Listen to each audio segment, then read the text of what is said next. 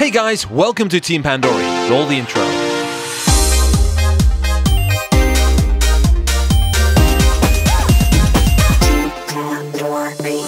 This here is my current laptop bag. This is bloody heavy. Taking this on vacation is a chore, and with its combined weight and bulk, I need to think twice about taking it to work. So we got a package from the Amazons. Chicken Smash. Yeah, I'm a bit of a monster. In this box from the rainforest, we get lots of paper. Thank you, trees. What we have inside is a Chuwi box. I will chew mice melons any day. It's me, John Luke. This is the only side of the box that has any information on. Seems as a choice of Windows or Linux. All of the other sides are for drawing on. When we pull open the flaps, we can pull out polystyrene. Hiding items in your flaps, that's hot. The smaller square box in the center is full of paper you'd never use. Perfect for the toilet. Like this guarantee. We're gonna try and open this up, so this guarantee is guaranteed not to work. Guaranteed. Also inside is an instruction manual that can open up to crazy size, I have a crazy size. and double-sided for a different language. A laptop is hidden inside this oblong. Oblong! Exceptional care has been put into the packing. And inside this oblong, oblong, we have a power adapter. And nothing else. The adapter is rated for 12 volts, 2 amps, and 24 watts. The pins can be clicked in or out for transport, and as I'm in Japan, I get the US style adapter. Ooh. This looks very nice indeed. Outside the Chuwi logo, this is very clean. Perfect for facial. On the underside, we have air vents, holes for stereo speakers, and the rubber feet feel quite thick. Good to see that this will have a sizable gap underneath the laptop to aid in cooling. This is beautiful. There's a large trackpad, the bottom bit clicks in for a left and right mouse button, and the keyboard is similar to a cheap Logitech. It's American region and feels slightly cheap, but I'm not complaining for the price. The edge is reasonably thin, with no I.O. ports on the front. On the right side we have a micro SD card slot, a small audio jack, and one USB 3 port. On the opposite side we have power, and one USB-C port. On the first boot, it'll jump us straight into the Windows 10 setup, where we need to answer some questions, language, location, and do our best to turn off Skynet. We can also use different software to do so later. On first impressions, this seems pretty snappy. There's a decent amount of memory. We can see the N5100. The telephone number of my mistress. Windows 10 Home Edition is installed at stock, and when we connect it to the internet, it's automatically activated. Base installation takes about 28 gigabytes, and we have plenty of space to add more software. And videos on the Kama Sutra. We can use Ninite to add more software. And for web browsing and shopping, this is brilliant. You can find this laptop on both Amazon and AliExpress. We'll leave you some links in the video description down below. This laptop and display does a great job with YouTube in 4K. And here's the rest of the specs. Main points are the display is IPS, 3-2 ratio, and the CPU has a wide range, so it'll be snappy when it needs to, and will also have very decent battery life.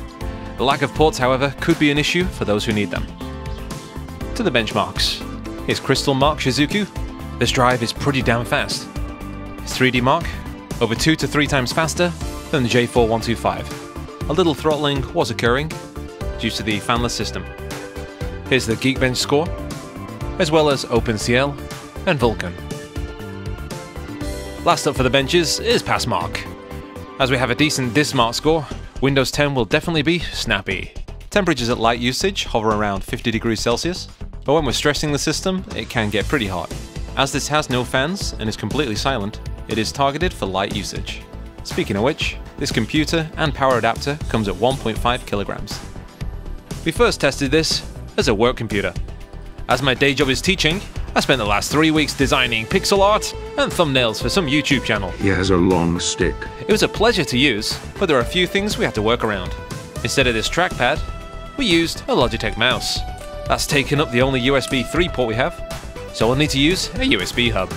This one also has the LAN port, which is very handy as they won't give me the work Wi-Fi password. One more thing we do need is HDMI out. You can get a USB-C to HDMI cable, and this worked fairly well for them presentations. This cable here is about $10. When we tried using the audio jack with these small earbuds, there was a constant hissing. The more expensive, larger headphones did not have this issue, but when we use this USB audio stick, we were given clear sound. This is from AliExpress for $5. Perfect. So with all this gear, I actually had a really good time using this laptop at work. One more thing we do need to mention is that the laptop speakers sound awful. If your computer speakers sound tinny, check out this speaker polarity check on YouTube. If the audio sounds decent when it's out of phase, and all tinny when it's in phase, that means there's a problem with the speaker polarity. We can fix this by using this free software. Just download and install this, then run the configuration editor. Then push this small button here, then go to basic filters, and then copy between channels. We want to drag a line from the green L to the red L. Double click in the center of the arrow, and then type in minus 1. Once we're done here, we can recheck on the YouTube video. I really did prefer this laptop over my gaming one. The monitor is fantastic, and we have much more desk space to work with.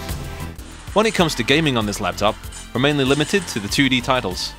Castle Crashers, which is usually a 16.9 game, almost fills the screen. There's even an options in the settings menu to do so. Kinda looks a bit odd, but it's possible. Streets of Rage 4 is hovering around 60 FPS, and sometimes dips to around 57. If we lower graphical options slightly, we'll get a perfect 60. Moving on to some 3D titles, here's Dota 2. To get it somewhat playable, we need to lower the graphical settings significantly, and even then, 30 to 40 FPS. Same story for CSGO. 720p, low settings, we're getting significant dips. 20 to 30 FPS. A main reason why I got this laptop is due to the unique aspect ratio. It uses 3.2, which is very similar to 4.3, so this should be perfect for playing retro games on. Here's Heretic. I mean, look at the screen. Even with aspect ratio correction, the whole screen is almost filled up. Hit them demons with your hard stick. I do this day. It's crazy to see games like Settlers 2 look so beautiful on a modern laptop. The colours on the IPS display really do pop. Frontier Elite. Look at the size of the thing. Sorry, my pants are down. Or XCOM Apocalypse. The aliens in this game looked like Muppets. Perhaps Yo Gabba Gabba characters. Even exceptionally old games like King's Quest II are given a new lease of life. This display at this price is incredible. We used a DOSBox front end, DBGL, to choose the games quite easily.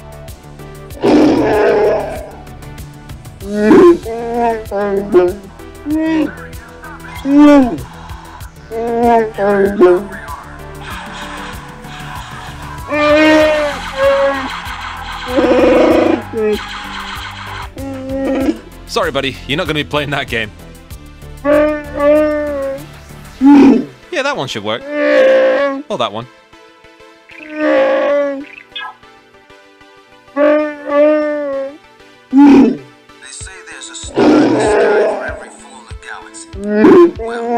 Those stars must be for Han and Chewie. I'll never forget the time those two liberated.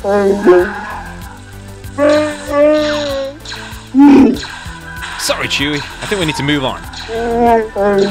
Yeah, alright, buddy. We'll play that later. One more thing that would shine on this thing is emulation. Using WinUAE, we can have an emulated Amiga laptop. Of course, things like Deluxe Paint, things like that run fine, as well as some games.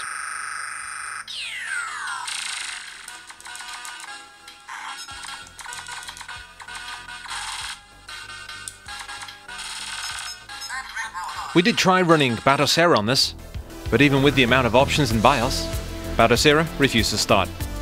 This could be due to the drivers currently not available. We can use RetroBat. This is very much like EmuELEC or Batocera, running from Windows. If there's an emulator on Windows, this thing will be able to run it. And using the 3-2 aspect ratio, Amiga emulation runs and looks sublime. If we have the aspect ratio set by a core, we can see how much of the screen is actually used. Mega Drive, Super Nintendo, and even N64 is no problem. If we move on to GameCube, we see a lot more slowdown.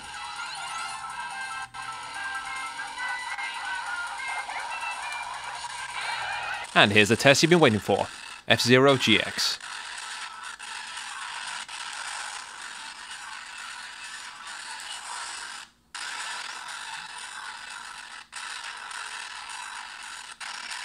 Moving on to PlayStation Portable, this laptop is perfectly capable.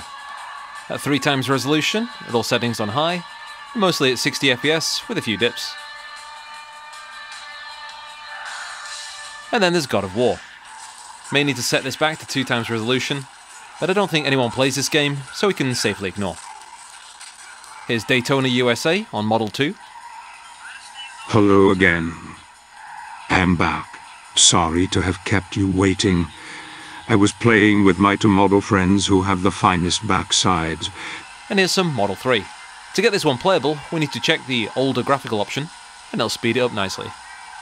This laptop will run Dreamcast, Atomiswave, Naomi, and some of the more difficult titles on MAME, such as Tekken 3, Tekken Tag, Killer Instinct, and also some of the cave shooters.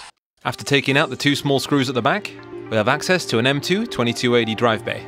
We tried an NVMe stick, but this simply did not work, and instead we need to use an M2 SATA 3 stick. This one costed about 30 bucks, and it works fine. We tried to open this, but it's very clear that Chuwi do not want this opening up. Time for the pros and the cons. This laptop has an extremely decent display. The aspect ratio is ideal for retro gaming, as well as added real estate in Windows. It's responsive, silent, light, and very affordable. But the cons, connectivity. The workarounds we need to do to get HDMI, Ethernet, and more USB ports could be awkward for some users. The keyboard is a fingerprint magnet, and the audio from this device definitely needs more quality control by Chuwi. The Chuwi GemiBook is the first laptop I've bought that I've genuinely been impressed with. If you're looking for a laptop for work, family use, or for retro gaming, this one is a winner. Finally, we just want to say a quick thank you to all of those on our Patreon. We create reviews, guides, and also some software that fixes the Pandora boxes. I also help out with the ladies. You do? They can't keep their hands off. Damn right. Actually, What? I opened up my own massage parlor last week. Why do you have to mention that in this video? If you can't advertise yourself, what hope do you have of advertising anything else? Oh, touche. This has been Emu Chicken of Team Pandory, and I'll catch you on the next one. Ta-ra. Buddha bye bye, Buddha Buddha bye bye, baby, come back.